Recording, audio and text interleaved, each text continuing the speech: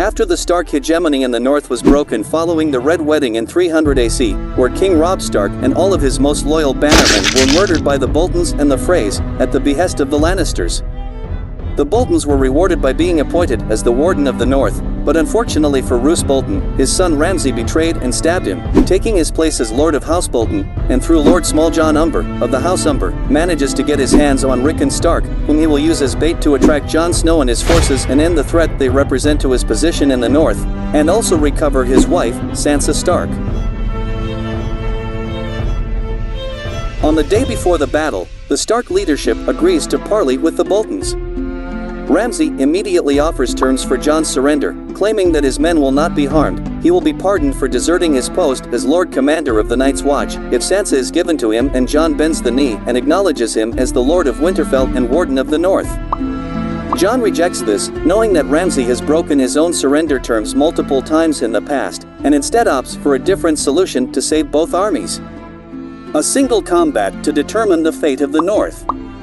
Ramsay rejects Jon in turn, as he has heard of Jon's reputation as the best swordsman in the north, and he knows his army is more numerous and better equipped than Jon's. Jon retorts by pointing out that Ramsay's army is built on shaky loyalty, whereas his own know that their leader would live and die for them. This angers Ramsay, and prompts him to threaten to kill Rickon if Jon will not surrender. It is at this moment Sansa questions whether Ramsay really has their brother. Smalljon Umber answers by pulling out Shaggydog's severed head and throwing it at their feet.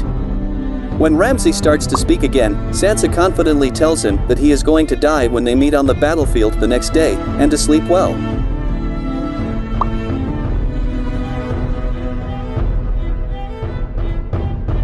The battle begins with the Stark army deployed near a tree line to prevent themselves from being taken unaware from behind. Across the field is the much larger Bolton army, who have placed archery distance markers with burning, flayed corpses attached to them in an effort to demoralize the Stark troops. Ramsay himself trots out on his horse to the front of the formation, bringing along a prisoner, Rickon Stark himself. Ramsay acts at first as if he will slit Rickon's throat, but instead cuts his bonds and delightfully insists that he play a game. He points at Jon and tells Rickon, run to your brother. Rickon starts running in a straight line toward Jon, while Ramsay shoots and misses with a bow. Just when Rickon is about to reach Jon, however, Ramsay's final shot hits Rickon in the heart, killing him almost instantly. Enraged and maddened with grief, Jon charges full tilt at the Bolton army, who immediately loose their arrows on him. Alarmed, Davos orders in the Stark cavalry to charge after their commander, with the infantry closely following behind. His horse shot out from under him, Jon prepares for his last stand by drawing Longclaw and facing the Bolton cavalry seemingly alone. He is saved by the timely arrival of the Stark cavalry, and the battle becomes a bloody storm of swords. Men fall in battle so quickly that they begin to form small hills of the dead. Ramsay orders his own archers to shoot at both the Stark forces and their own cavalry, while Davos refrains from doing the same, and leads his archers to join Jon Snow and the others into battle. The arrows kill both Stark and Bolton men, and soon the small hills become a wall of the fallen. Although Ramsay loses many of his men to friendly fire, it becomes clear that they are intentionally being sacrificed as part of a sadistic plan to prevent his enemy from retreating. Seeing the Stark infantry and archers along with Wun Wun engaging in combat with the Bolton forces, Ramsay sends forward his remaining forces, which Smalljon Umber leads into battle. The Bolton infantry managed to surround the remaining Stark army and close them in with a shield phalanx.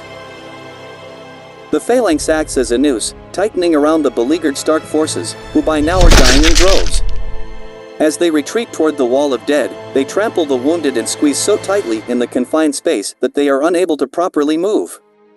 Smalljon leads a small force over the wall of dead to ensure that none are able to escape. Jon is barely able to save himself from being crushed to death. Just when all hope seems lost for the Starks and Free Folk, a war horn sounds off in the distance.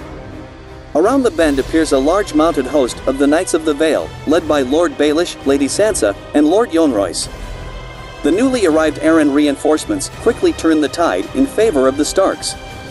With the phalanx facing inward towards the Stark forces, the Vale Knights are able to attack on the Bolton's undefended side, wiping away Ramsay's phalanx and freeing the Stark soldiers. Tormund kills the Smalljon in a brutal duel. Ramsay, now without a fighting force, decides to retreat to Winterfell to hold out in a siege. Jon, in a murderous fury, gives chase alongside Tormund and Wun Wun.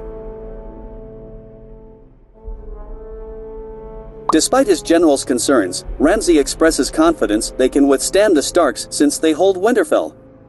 His plan goes awry, however, when Wun Wun breaks down the main gate, allowing the Starks and Arryns to pour through. They kill all remaining Bolton men in the castle. Wun Wun collapses to his knees after being hit by arrows, bolts, and javelins. Before Jon can comfort his friend, Ramsay kills the giant with an arrow through the eye. Ramsay, refusing to surrender, taunts Jon, saying that he finally accepted his proposal of single combat, before shooting arrows at an unarmed Jon. Jon grabs a shield from a fallen Mormont soldier and while boldly advancing, blocks three of Ramsay's shots. When he reaches Ramsay, he smacks the bow out of his hands and knocks him to the ground. With Ramsay down, Jon pins him and proceeds to beat him savagely. Though it seems as if he will kill Ramsay, Jon stops when he sees Sansa, realizing that she has as much right to revenge as he does. Jon orders Ramsay locked in the kennels, and the Flayed banners drop to the ground in a cluttered heap while the Direwolf banner is raised above Winterfell for the first time in three years. The Bolton's rule of the North is over, and House Stark and its allies retake the North with a decisive victory, although not without great cost.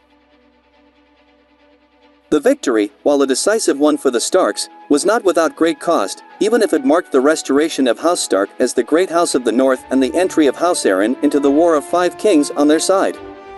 Out of Jon's original force of 2,400 men, perhaps only 800 survived, and now no northern house has a true force to stand against Littlefinger, the Night King, the Iron Throne, or even Daenerys Targaryen, should one of them decide to conquer the north. What is worse, the heir apparent to Winterfell, Rickon, is now dead, leaving the newly restored Great House in the hands of an illegitimate son and an eldest daughter.